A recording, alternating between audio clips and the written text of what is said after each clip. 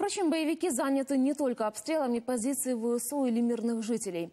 Они вдруг озаботились политическими вопросами. В частности, ни с того ни с сего решили сказать «Новороссии нет» и создать Малороссию. По крайней мере, на оккупированной части Донецкой области. Подробнее в материале Павлина Василенко. Побольше государств, новых и разных. Видимо, так решил главарь самопровозглашенной ДНР Захарченко и объявил о создании новой недостраны – Малороссии. Квазигосударство, по его задумке, возникнет на территории оккупированной части Донецкой области. Кто у них там будет главным – президент или парламент? И нужны ли они вообще, пока не определились. Дескать, все, что можем сказать, Малороссия – это некая федерация ЛНР, ДНР и каких-то там других областей Украины со столицей в Донецке и флагом Гетьмана гетмана Богдана Хмельницкого.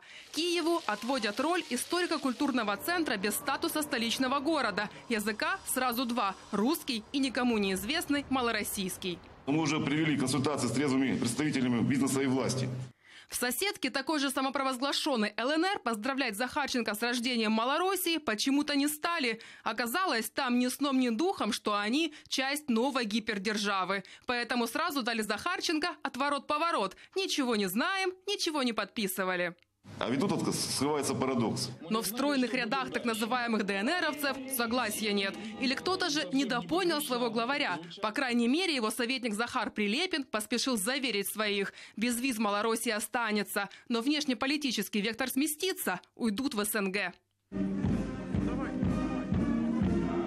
Украине на малороссийские заявления отреагировали жестко. Президент Порошенко заявил, что Киев вернет оккупированную часть Донбасса и Крым, а боевиков ждет полный крах.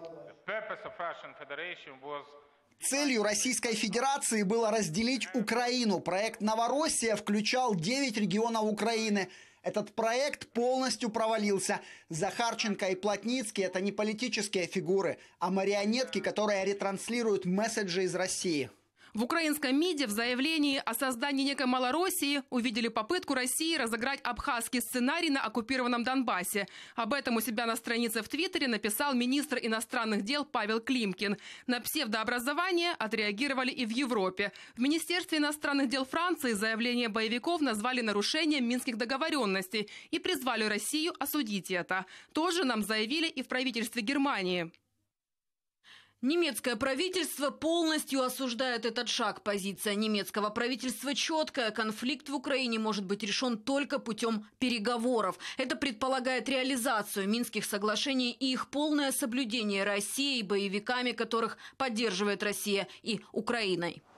Реакция же российской стороны на сие событие появилась лишь вечером. По мнению представителя Российской Федерации в трехсторонней контактной группе Бориса Грызлова, создание Малороссии также не вписывается в Минский процесс. Павлина Василенко. Подробности. Телеканал «Интер».